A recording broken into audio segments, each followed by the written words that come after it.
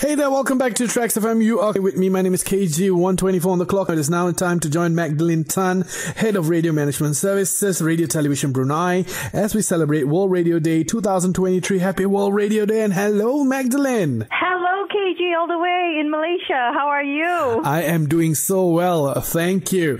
And uh, you know what? Since we understand that you're pressed for time today, let's get direct to it. Can you tell us more about yourself? All right. Hi, everybody. I'm Magdalene Tan, all the way from Brunei. I'm the I'm the senior producer at Pilihan FM, uh, radio, television, Brunei. So I've been in this job for almost 14 years. Wow. Yes. And what are your fondest memories of radio growing up? Oh, um, my most fondest is actually listening to one of my uh, favorite radio DJ, uh, DJ Frankie, and I think after like 20 years later, I got to find out that I worked with him after 20 years, if that makes sense. Oh, wow. So it's, it's actually really fun working with the DJ that you used to listen to while you were young. Yes, meeting your I heroes. Yes.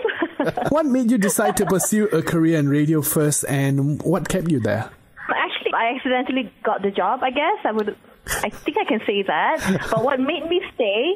I think what made, made me stay is really important because I love um, what happened behind the scene. Like, how did the DJ come about? You know, what they talked about. Uh, how did they get all these interviews? The programs that that that that they do, and how do they come about with getting so much interesting stories out on the radio? Mm-hmm. Yeah. I think that's one of the major reasons why we all stay because the magic behind the behind the voice is Behind always amazing. is so much fun. So, Yes. yeah, World Radio Day theme for this year is Radio and Peace. What are your thoughts on Yes. how it will affect you? I believe that we all should try to be at peace with everything that we do. Mm. So when we look inwards, I, I, I guess it will project outwards on its mm-hmm. own. So with radio being a, a medium for all of us to actually, um, you know, radio is our friend in a mm-hmm. way It is. the radio, yeah, the radio DJs are our, are our entertainers. They, they make us feel at peace and at ease.